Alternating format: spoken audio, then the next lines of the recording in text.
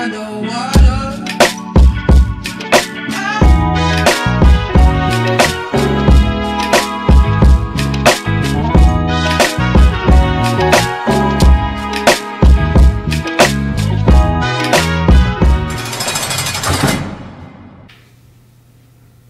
what's going on. It's time for another episode of Doing Time with Joe.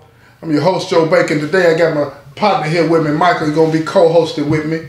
And we're going to be ask, answering some questions from some students in Utah. Well, one student in particular in Utah. We're going to be answering some questions that he uh, wrote us, uh, both of us, uh, a letter and uh, asking some things. This is a program that we are participating in. It's a pen pal program that they got going on out there where these college students they'll ask these questions about us. We do this. What has it been? Once or twice a year?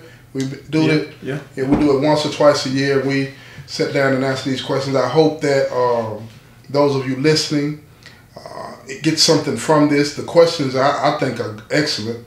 And uh, Michael, you want to say anything before we jump right into it? Just say hello to all the students and uh, appreciate you uh, taking the time out and wanting to know something. And we hope that you, you you get something out of this. Absolutely, absolutely right, absolutely right. Let me look at this letter, and uh, we're gonna deal with the letter that he wrote you first, okay? And the question that he has is number one. He says, many prisons have an industrial entity that allows inmates to learn new trades, produce a quality product, and or earn money. There was a time that this was an unpaid punishment that had to be done in silence. In your experience, do you find the industry employment to be a great opportunity, or do you find there to be issues with it? What do you think about that, Michael? Well, first of all, this this this institution doesn't have that, but there are several institutions across the state that have it, and it's a good thing now because you're getting you're getting a decent amount of money, and they set up a, bank account for you that you can't touch until you get out, and then you have the money that they put on your account. So it's it's a good opportunity for people to learn new skills and to have some money saved up for when they get out. Yeah, I agree with you. I think it's a great, great opportunity for those that are allowed to participate in it. You know, my problem with it, if anything, I think, you know, I agree with all the things that you said, but my problem with it, if anything, is that it's so limited. Uh, the people that are allowed to participate in this particular program that they have at these other institutions, uh, they used to have it at this institution, but they stopped it, but they, they got them now at other institutions. But the problem that I have with it is that the people that are allowed to participate in it, they are closer to going home, right? People, you, you have to have what two or three years or so before you can go home. Some of them, but you know, like the wood, like the wood plant at, at Bledsoe, Mm-hmm. uh, people had life sentences in there. Yeah, that's true too. That's true too. Those type of okay, that industry. You, that's, I was in. I was looking at the industry that allows those individuals to go to the streets and work, leave prison and go out and work. But I Yeah, guess you would yeah. include those in it as well. I just think that the opportunity to work should be available to most of the population with with some restrictions. You know what I'm saying? Uh, you don't want to somebody that's exhibiting sociopathic behaviors to be allowed to participate in a program like it, or somebody that's not obeying the rules of the prison to be able to participate in something like that. But I think that the institutions are missing an opportunity to really change the culture inside of prison by limiting uh, the number of people that can participate in these programs. Now, I understand that you only have a certain amount of jobs available, especially like like what you said, like the wood plant that's at certain facilities and that is on the compound. You know, they only have a certain amount of jobs available. Uh, I just think it needs to be expanded upon. I think that everybody in prison should be allowed that opportunity because it will undermine, in my opinion, it will undermine the criminal activity that goes on in here. You know, most people in here are involved in criminal activities making money uh, for different reasons, but most of them send that money home, help take care of their kids. Now, there are those that use that money to go buy drugs and do all those types of things, right? But if everybody were allowed to make money legally, you have an opportunity to get people on that track as opposed to, you know, people turning the other way. You know what I'm saying? What do you think about that? It is, and it creates a, a, work ethic for people. You know, because they'll they'll learn some work ethic. Because a lot of people didn't have that work ethic on the street, and uh, being able to save money and being able to budget and things like that, they can learn that new skill too. Right. Along with the physical skills, you know, they can learn how to do the budget. Right. To be yeah. able to take care of themselves Right. when they get out of here. Yeah, and and, and with the, with the legal aspect of, of working those types of jobs, you know, you're paying room and board. Yeah. You like you said, you start to learn how to be responsible. You start to appreciate the value of money, and and, and then they help you save a portion of that. So when the time comes when you do get out, you're not walking out the door broke. You and know when, what I'm saying? And when you're paying into the pot, you're paying into the uh, what is it, the victims compensation. Victims compensation fund. know goes to them too. Yeah. So that yeah. that could be more money for that right. if they if they expanded the program. Absolutely. Plus, you know what I'm saying, having a legitimate job, you're paying into the pot where, you know, one day when you get out, you know, you paid in Social Security, you'll be able to get Social Security. You see what I'm saying? When you hit retirement age. All of those types of benefits, you know what I'm saying, are, are, are, are, are, limited to, available to only a small amount of people. Inside of prison. You know what I'm saying? And that, in my opinion, is one of the ways that, uh, one of the reasons that people in prison continue to participate in criminal activities. I understand what people say about people shouldn't be doing the things that they're doing in here, but one thing I would hope that people will remember, that you may not agree with it, but when you come into this environment, you have to survive it. And people find the best way they can to survive it. You feel what I'm saying? Yeah. And they and a lot of them, a lot of us in here have done criminal things to survive the environment. It's not right, it's not helpful, and it, it doesn't benefit anybody. But if you don't have another option, then it is what it is. It is. Because you work the jobs that the prison provides for you, you're only going to make 50 cents an hour, maybe a dollar an hour. You know what I mean? You're not paying, it, it's, it's not really helping the individual, it's helping the institution, but it's not helping the individual because you don't have those real life experiences that you can attach to earning that check, meaning Yeah. like paying room and board and Yeah. paying for your meals and stuff like that. Okay? Now let's get to question number two uh, that he sent you. He said, with the invention and advancement of technology, what would most inmates say surrounding the limited introduction and use of technology within your facility? Hmm, that's a good one. We don't have much technology around here, and you know the new commissioner said that we're 30 years behind in, in the, Right, in the right. technological part. So uh, you would need, I think, say like for those of us that are getting getting ready to get out or Mhm. close to getting out Mhm. and have been gone for a long time, like we have.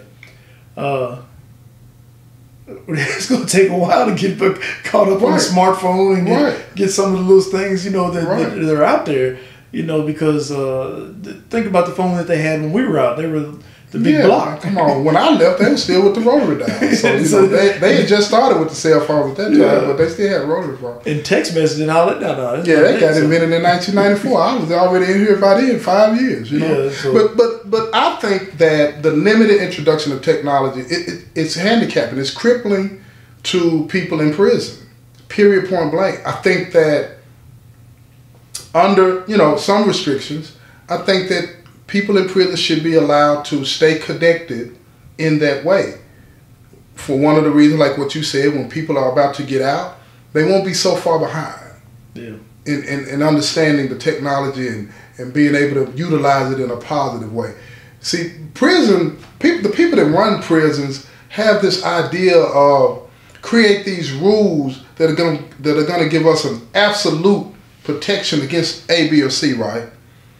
And and I think that's so sad because, you know, no no rule that you write is going to stop any and everybody from doing what they want to do, right? That's why you have regulations and things like that in play.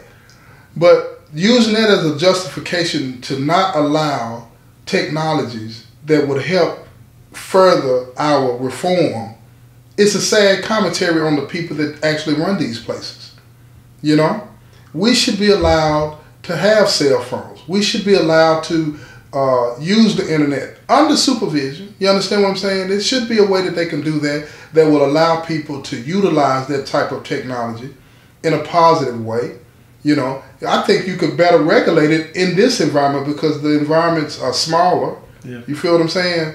And, and and all of those types of things. But I think that the, the limited introduction of technology cripples people in prison when it comes to their reform. I, I, I just, you know, the evidence is clear, you know, and uh, we, we don't even halfway. And, if you're living a totally following all the rules life in prison, uh, you're not gonna understand anything. I know this one guy that's locked up that has never he he doesn't know anything about the internet.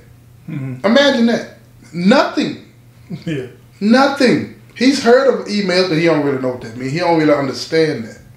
He don't understand that at all. And you know, I've had my times when I since I've been in prison that I've messed around. I've had cell phones and stuff like that, right? So I have some understanding of that. But this individual that I'm talking about, he has no clue. He's been so terrified of, of doing anything and breaking the rules, he's never touched a cell phone or anything.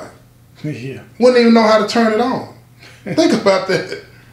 Because that, that goes to the question is the Department of Corrections about reformation or punishment? Because if you're about reformation, then you'd have more things for us. Right. Because I'll give you the prime example that I've, I've said before. I went to go take a class in 2008, the HVAC class. Right. They told me I had too much time to take the class. But then they stick me in CMS, which is Career Management for Success. Hmm. What career am I managing from in here with all the time that I have? Right. And I can't use that. What I Right. can use this HVAC thing Right. while I was while, you know in prison. But Right. so they didn't let me do it. I did it on my own. So and that's another thing too, right? You know, we you, you know we got a lot of governors now talking about you know uh, these uh, technical schools and, and, and having all of these programs like HVAC and stuff like that in prisons, right? And my thing with that is, I think that's a great thing, and they should allow more of that. But once the individual that they allow in the class completes the class and has certification, they should be taking those individuals and, and matching them with employers out there on the street. And I'm talking about even if you still have a significant amount of time left to do. We have to get away from this idea that the more time you have, the more likely you are to be the one to run off. We got to get away from it because it's not true. The facts don't support it. at all because the whole time when, when under the old commissioner, when the guys walked off from the annex, those those are the people that came in with eight Small and six year sentences, and you had people with life sentences over there that never walked off. No, they've never had one case in Tennessee where a person with a life sentence No. walked off from a work detail. No, Not they- and they were out working. Yeah. They, they're enjoying that. Yeah, they were out working. They were enjoying it. They felt a sense of self worth. You know what I'm saying? And they didn't want to mess that up. You know what I mean? They didn't want to mess that up. Now let me get to the questions that he wrote me. Okay, let's see, let's see, let's see. Let me find it on this paper. Okay, question one. Prisons have a culture all their own. And unless a person has been incarcerated, they will not understand that. On any given day that you or others wake up, what would you say is a fear that most inmates feel from the culture and lifestyle within the prison? That's a great question, too, man. That's a great question. It's such a great question. I'm you're gonna have to go first on this. Okay. I'll go first. I'll go first. The obvious answer to that would be that something's gonna pop off in the prison and I'm gonna get hurt or somebody that I mess with is gonna get hurt or I'm gonna have to do something to somebody else. But when I was reading the question earlier and I was thinking about it, uh, one of above that, above getting hurt or somebody that I mess with getting hurt, above that, what I fear the most every freaking day that I get up is that somebody that works in this facility or any facility that I've been in is gonna go out of their way to remind me that they see me as a slave. Now, what do I mean by that? You can get lost in here mentally when you're working a particular job and you start to feel in your mind that you're actually doing something worthwhile and you have a say and they listen to what you say and you have a voice, right? And somebody that works in the facility, they'll hear you voicing your opinion about something that they believe you're crossing a line, not because you're wrong about what you're saying, but because you're an inmate. And they will go out of their way to put you back in your place because you spoke out. And that terrifies me. Every time that that happens to me, it makes me feel like I'm like the size of an ant. You feel like I don't matter. And it takes a while for me to recover from that, you know? And that is what I fear on a daily basis. What about you? And speak to that. I had that incident because uh, I wrote a grievance. Mm-hmm. We you know we discussed. Explain what a grievance is. Uh, it's something that is, of course, it, the word to grieve. You know, you're grieving something that was done wrong to you, or that you felt you were wronged, or this is the only process that you have to go through. So going through that process, uh, I wrote this grievance. We had a hearing. Of course, they didn't really address the problem, and uh, the officer was like, "Well, why did you appeal it? You're getting you're getting what you want." I said, "How do you figure that?" Well, they're trying out the thing that you that you're uh, asking for. Mm-hmm. I said, just because they're trying it doesn't mean they're going to get it. Right. And how right. come how come the people downtown shouldn't know about this? Right. Why know? wouldn't you want not want them to know? Yeah. So why why why would I not want to keep pushing it? Right. Well, I don't see what I don't see the problem with it. it, it you're getting it. You're going to get it.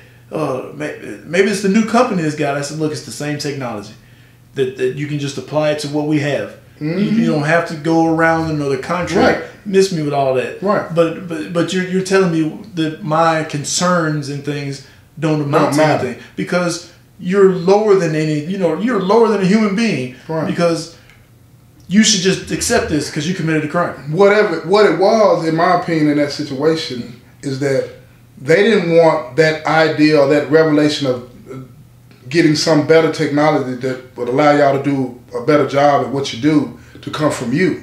And it would come from you with that grievance once it lands on the commissioner's desk. They say, okay, we're going to give you what you want, and then they're going to make that recommendation to the commissioner. You understand what I'm saying? Yeah. And that way it excludes you from being the inmate, from being recognized in that way, right? And I don't think a lot of people understand how how pervasive that is in here. They don't a lot of the people that work these facilities don't want anything that we say or, or any idea that we have to reach the ears of the right people because they feel like that we will be given some kind of credit for that. And they don't want us to get credit for that. They want us to believe that we are worthless. And that's a hard battle every day trying to deal with that. You know what I'm saying? Telling yourself, getting up in the morning, looking in the mirror, and telling yourself that you matter every day when you're going to be out on the population, the general population, around people that work here and that live here, for that matter, that have bought into that worthlessness, that are going to remind you whenever they get the opportunity that you are worthless. Yeah. And you got to push back against that. Yeah, you do. Yeah, you got to push back. And they're always telling me, oh, you always have something to say. You always this or that. Look an old man told me a long time ago, if you don't stand up for what's right, you're going to fall for anything. Exactly, exactly, exactly. Now let me read this second question that he had.